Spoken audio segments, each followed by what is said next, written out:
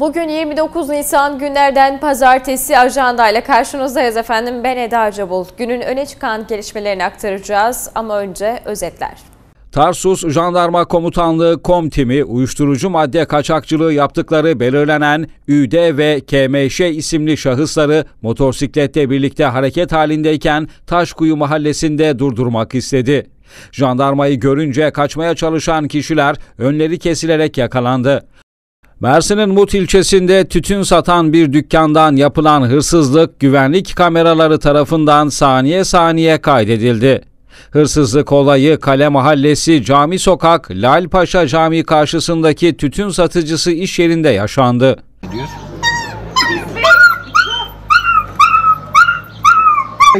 Gel sen yanaştır abi.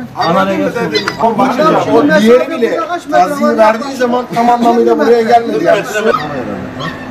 Mersin'in Tarsus ilçesinde su gideri borusuna düşüp sıkışan yavru köpeği itfaiye ekibi kurtardı. Mersin'in Bozyaz ilçesinde Şehitler Camisi törenle ibadete açıldı. Mersin'de Hristiyanların Paskalya Bayramı nedeniyle ayin düzenlendi. Ortodoks Kilisesi'nde yapılan Paskalya ayinine Ortodoks Kilisesi ruhani lideri Coşkun Teymur, Ortodoks Kilisesi Vakfı Yönetim Kurulu Başkanı Cem Altındiş, cemaat ve yurt dışından tatil için Mersin'e gelen turistler katıldı. Mersin'de 10 farklı kentten 23 sanatçının eserlerinin yer aldığı Güney İstasyonu adlı karma resim ve heykel sergisi büyük ilgi gördü. Mersin Büyükşehir Belediyesi tarafından bu yıl beşincisi düzenlenen Mersin Uluslararası Bisiklet Turu'nda Tour of Mersin'de Belarus ekibi Minsk Bisiklet Kulübü şampiyon oldu. Tarsus İdman Yurdu ligin 33. haftasında deplasmanda oynadığı maçta Kırklareli Spor'a 2-1 mağlup oldu. Mersin Büyükşehir Belediye Başkanı Vahap Seçer hafta sonu muhtarlarla buluştu. Seçer, çalışan ve üreten belediyecilik anlayışıyla yola devam edeceklerini söyledi. Mersin Büyükşehir Belediye Başkanı Vahap Seçer, Büyükşehir Belediyesi muhtarları bilgilendirme ve tanışma toplantısı dolayısıyla Anamur, Gülnar, Mut, Bozyazı, Aydıncık ve Silifke mahalle muhtarlarıyla bir araya geldi. Biliyorsunuz ekonomik kriz yaşıyoruz. Ekonomik krizler de bizim elimizi ayağımızı bağlayacak. İnşallah bu kriz derinleşmeden bir an önce Türkiye bunun üstesinden gelir. İki türlü bizi sıkıntıya sokacak. Ben önceki gün basın toplantısı yaptım. Belediyenin durumunu, mali tablosunu anlattım. Borcumuz var, harcımız var, alacağımız var. Nasıl bir yol izleyeceğimizi bilmemiz için benim bunları tespit etmem lazım. Basit bir ticarethane de olsa bir gelir tablonuz olur, bir gideriniz olur. Ona göre hareket edersiniz. Bizim aylık 90 ile 110 milyon lira arasında bir gelirimiz var belediye olarak. Bu değişebilir. İşte az önce söylediğim gibi eğer ekonomik kriz olur ya da mevcut durum daha da derinleşirse bizim gelirlerimiz düşüyor. Çünkü biz toplanan vergiden pay alıyoruz. İşte toplanan vergiden alıyoruz. İller Bankası payı var. Diğer taraftan kendi öz gelirlerimiz var. Ama yüzde 85'i gelirlerimizin Ankara'dan gelen para. O da vergi gelirleriyle ilgili olduğu için bu çok önemli. Bizim bölgemiz tarım bölgesi. Benim de en çok ilgilendiğim alan. İyi de e, bilgi birikimine sahibim. Çünkü hem eğitimim hem kendi çalışma hayatım hem parlamentoda tarım komisyonunda yer aldım. Sonra plan bütçe komisyonunda uzun yıllar tarım konusunda çok çalışmalarımız oldu. Özel alaka gösterdiğim zaman da çok büyük fayda sağlayacağım bir alan. Yani bir belediye başkanının Mersin'de ziraat mühendisi olması ya da ziraatı biliyor olması Mersin tarım açısından bence bir avantaj. Yanılıyor muyum? Yani bir adam bildiği işi daha iyi yapar. Hani mutlaka tarım dairesi başkanımız var. Başarılıdır, güzel işler yapacaktır. Ama bizim de katkılarımızla belediye başkanı olarak burada tarımsal projelerimiz daha iyi noktalara gelecek. Niçin tarımı önemsiyoruz? Sadece bu işi bildiğimiz için değil. Mersin'de tarım önemli. 400 bin dönüm önemli bir miktar. Sizin tarım toprağınız var. 16 bin kilometre kare alanın 4 kere 4 16 yani dörtte biri verimli tarım toprağı.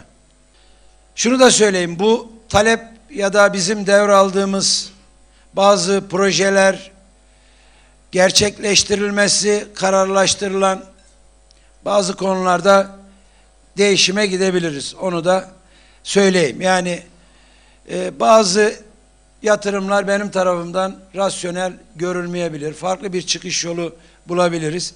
Ben şu anda sizlere aktardıklarım şu anın günümüz itibariyle ilçelerinize dair bazı tespitler. Bunlar da sizlerin de katkılarıyla bazı değişiklikler yapacağız. Yapmalıyız da. Mutta yeni hal yapım sorunu var. Bu Anamur için de geçerli ama biraz beklememiz lazım bunun için. Bir e, çalışma var biliyorsunuz. Yeni bir düzenleme var. Hal kanunu. Nasıl bir kanunla karşılaşacağımızı bilemiyoruz. Biz büyükşehirler büyükşehir belediyesi olarak bölgemizdeki hallerden mesulüz. Bizim hüküm ve tasarrufumuz altında ama biz o yasa çerçevesinde yetkimizi kullanacağız. Bir takım bu konuda yapacaksak yenilikler yapacağız. Asıl bundan sonra şimdi görev ve sorumluluk bizi bekliyor. Oy aldık ama mesajı da aldık. Vatandaş oy verdik. Seni belediye başkanı yaptık. Ama mesajımız da şu. Biz sizden hizmet et, bekliyoruz. Bunu söylediler. Önümüzdeki günlerde inşallah hep beraber gecemizi gündüzümüze katacağız. Birlik içerisinde, beraberlik içerisinde, hoşgörü içerisinde birbirimizi anlayarak, birbirimize yardımcı olarak Mersin'i çok güzel bir beş yılla karşı karşıya bırakacağız. Çok güzel hizmetler yapacağız.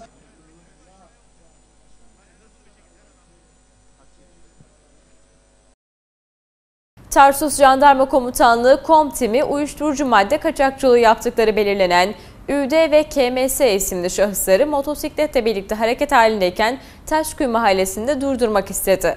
Kaçan hırsızlar yakalandı ve gözaltına alındı.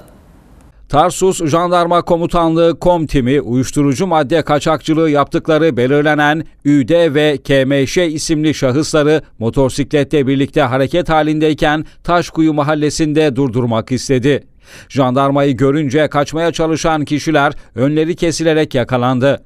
Kovalamaca esnasında kişilerin yola atmış oldukları siyah renkli poşet içerisinde 1200 adet ekstazi uyuşturucu hap bulunduğu belirlendi. Gözaltına alınan kişiler sorgulanmak üzere jandarmaya götürülürken olayla ilgili başlatılan soruşturma devam ediyor. Mersin'in Mut ilçesinde bir hırsız gece yarısı girdi. Tütün mamulü satan iş yerinden 500 lira ve 2500 lira değerindeki tütünü çalarken güvenlik kameralarınca kaydedildi. Mersin'in Mut ilçesinde tütün satan bir dükkandan yapılan hırsızlık güvenlik kameraları tarafından saniye saniye kaydedildi. Hırsızlık olayı Kale Mahallesi Cami Sokak Lalpaşa Camii karşısındaki tütün satıcısı iş yerinde yaşandı. Soygunu polis ekiplerine haber veren iş yeri sahibi Zeliha Köse, sabah iş yerine geldiğinde iş yerinde meydana gelen hırsızlık olayında 500 lira nakit parasının ve 2500 lira değerinde tütün ürününün çalındığını ve toplamda 3000 liralık zararı olduğunu söyledi. Polis ekipleri iş yerindeki güvenlik kameralarına baktı. Güvenlik kameralarını inceleyen polis, şüpheli Süleyman Babacan'ı gözaltına aldı.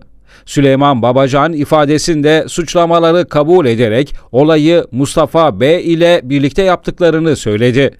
Süleyman Babacan ifadesinin ardından çıkarıldığı mahkemece tutuklanarak cezaevine gönderilirken firardaki Mustafa B'nin yakalanması için çalışma sürüyor.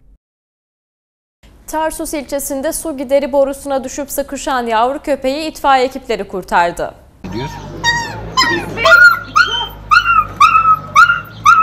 Gel sen yanaştır abi. O diğeri bile taziyi verdiği zaman tam anlamıyla buraya gelmedi yani. Mersin'in Tarsus ilçesinde su gideri borusuna düşüp sıkışan yavru köpeği itfaiye ekibi kurtardı. Gel başkan. Abi.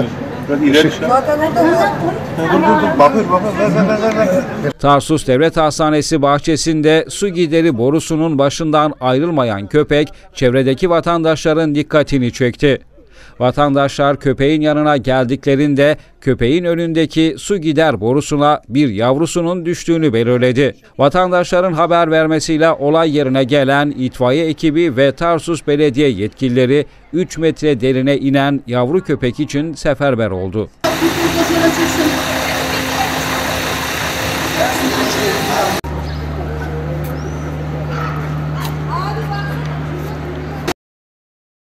Bozyazı Şehitler Camisi törenle ibadete açıldı. Mersin'in Bozyazı ilçesinde Şehitler Camisi törenle ibadete açıldı. Bozyazı Şehitler Camii Yaptırma, Yaşatma ve Güzelleştirme Derneği tarafından Çopurlu Mahallesi'nde yaptırılan caminin ibadete açılma törenine Bozyazı Kaymakamı Hayati Taştan, Belediye Başkanı Mustafa Çetinkaya, Mersin İl Müftü Yardımcısı Cafer Erol, İlçe Emniyet Müdürü Ertuğrul Ekici, İlçe Müftüsü Sabahattin Turan, kurum amirleri, dernek yöneticileri, siyasi parti temsilcileri ve vatandaşlar katıldı. Törende konuşan Kaymakam Taştan, caminin inşasının kısa sürede tamamlanarak ibadete açılması için gayret gösterenlere teşekkür etti. İlçe müftüsü Sabahattin Turan da caminin iki katlı olup 800 metrekare oturum alanına ve 1200 kişiye hizmet verebilecek kapasitede sosyal donatıları bulunan bir cami olarak bitirilip hizmete açıldığını söyledi.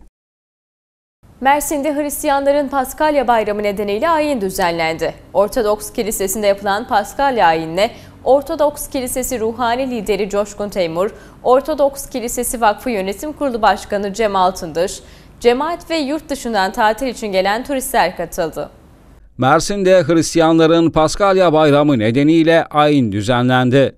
Ortodoks Kilisesi'nde yapılan Paskalya ayinine Ortodoks Kilisesi ruhani lideri Coşkun Teymur, Ortodoks Kilisesi Vakfı Yönetim Kurulu Başkanı Cem Altındiş, cemaat ve yurt dışından tatil için Mersin'e gelen turistler katıldı. Ortodoks Kilisesi ruhani lideri Coşkun Teymur'un yönetmiş olduğu ayinde dini ritüeller gerçekleştirildi. Ayine katılanlar mum yakıp dilekler dilerken çocuklar da Paskalya yumurtalarını tokuşturdu. İncil'den bölümler okunup duaların edildiği ayin sonrasında konuşan Ortodoks Kilisesi ruhani lideri Coşkun Teymur, barış ve huzur dileğinde bulundu. Mersin'de 10 farklı kentten 23 sanatçının eserlerinin yer aldığı Güney İstasyonu adlı karma resim heykel sergisi büyük ilgi gördü. Mersin'de 10 farklı kentten 23 sanatçının eserlerinin yer aldığı Güney İstasyonu adlı karma resim ve heykel sergisi büyük ilgi gördü. Sergi Mersin Ticaret ve Sanayi Odası Sanat Galerisi'nde açıldı. Sergide Ankara, İzmir, İstanbul, Eskişehir, Antalya, Kars, Samsun, Adana, Hatay ve Mersin olmak üzere 23 sanatçının resim ve heykelden oluşan 40 eseri sanatseverlerle buluşturuldu. Sanatçılar bu sergiyle sanatın farklı merkezlere taşınabileceğine, evrenselliğine dikkat çekiyor. 8 Mayıs'a kadar ziyaret edilebilecek olan serginin açılışı Mersin Ticaret ve Sanayi Odası Sanat Galerisi'nde Genel Sekreter Abdülkadir Dölek ve Başkan Danışmanı Orhan Çapan, Galeri Müdürü Seda Şahbaz ve çok sayıda sanatseverin katılımıyla yapıldı. Mersin Büyükşehir Belediyesi tarafından bu yıl beşincisi düzenlenen Mersin Uluslararası Bisiklet Turu'nda Türkiye'nin de içinde bulunduğu 9 ülkeden 13 takım ve yaklaşık 100 sporcunun katıldığı organizasyonun 4. günü son turunda yarışmacılar 119 kilometrelik parkurda pedal çevirdi. Mersin Büyükşehir Belediyesi tarafından bu yıl beşincisi düzenlenen Mersin Uluslararası Bisiklet Turu'nda Tour of Mersin'de Belarus ekibi Minsk Bisiklet Kulübü şampiyon oldu. Türkiye'nin de içinde bulunduğu 9 ülkeden 13 takım ve yaklaşık 100 sporcunun katıldığı organizasyonun 4. günü son turunda yarışmacılar 119 kilometrelik parkurda pedal çevirdi. Bisikletçiler kentteki Cumhuriyet alanından başlayan son etapta kent merkezinde belirlenen parkurda birkaç tur pedal çevirerek turu Yenişehir ilçesindeki Özgecan Aslan Barış Meydanı'nda tamamladı. Son etabın birincisi Rusya'nın Maraton Tula bisiklet takımından Maxim Piskunov oldu. 4 gün boyunca sporcuların 500 kilometre mesafe kat ettiği turun takım birinciliğini Belarus ekibi Minsk Bisiklet Kulübü kazanırken Almanya'nın Hermann Ritten takımı ikinci, Big Eight takımı da üçüncü sırayı aldı. Turnuvayı genel klasman birincisi olarak tamamlayan Big Eight kulübü sporcusu Hollandalı Peter Koning sarı mayonun da sahibi oldu. En iyi sprinter kategorisinde 45 puanla ilk sırada yer alan Hermann Rhythm takımından Alman sporcu Florian Obersteiner de turkuaz mayoyu giydi. Salkano Sakarya Büyükşehir Belediyesi takımından Mustafa Sayarsa 16 puanla en iyi tırmanış kategorisinde birinci olarak turuncu mayoyu almaya hak kazandı. Güzellikler bizlere değer katıyor. Biz de onlara sahip çıkmak zorundayız. These beauties actually give us the values. We have to adapt them all.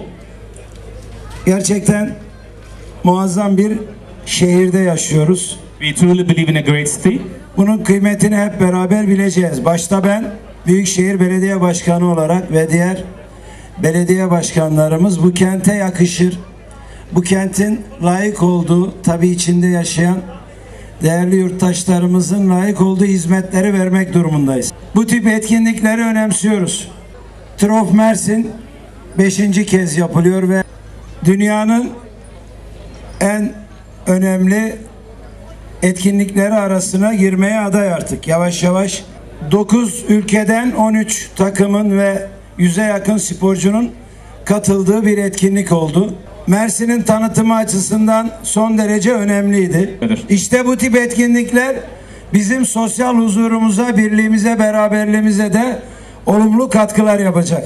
Bizim Mersin'e dünyanın her tarafından şu ya da bu sebeple insanları getirmemiz lazım. Mersin'in hem sosyal yapısına hem ekonomik yapısına hem kültürel yapısına hem de huzuruna barışına katkı sunmak istiyorsak Mersin'i Türkiye'nin değil bölgenin değil dünyanın etkinliklerinin şenliklerinin yapıldığı güzel bir belde haline getirmemiz lazım. If we would like to com-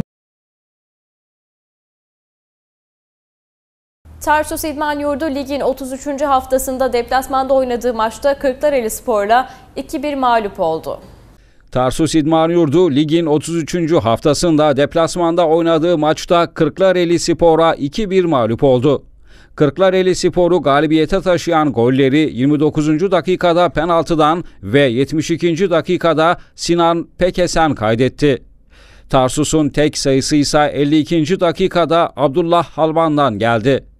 Gelecek hafta sona erecek 2018-2019 sezonunda Kırmızı Grup'ta Darıca Gençler Birliği ile Tokat Spor'un küme düşmesi kesinleşti. Tarsus ligin son maçında Darıca Gençler Birliği ile karşılaşacak. Bültenimizin sonuna geldik efendim. Yarın da her şeyden haberiniz olsun diye ajandada görüşmek dileğiyle. Hoşçakalın.